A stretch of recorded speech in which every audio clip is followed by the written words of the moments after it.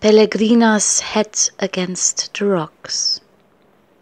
Pellegrina's head hit the rocks beneath the statue. As he let himself go above her, she looked at the night sky and froze. It was him. He was so cold.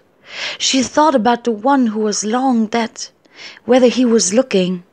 Disappointed. Because she wasn't doing it right, doing anything right.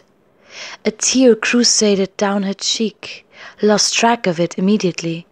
The clouds covered the moon, her face, all the same to him. Pellegrina wasn't even worth undressing. The statue is staring right into her, and he is so far away. Something's wrong. Maybe it's her. Shifting her head, it just hangs loose. This boy is blind. She closes her eyes, and it is so sad.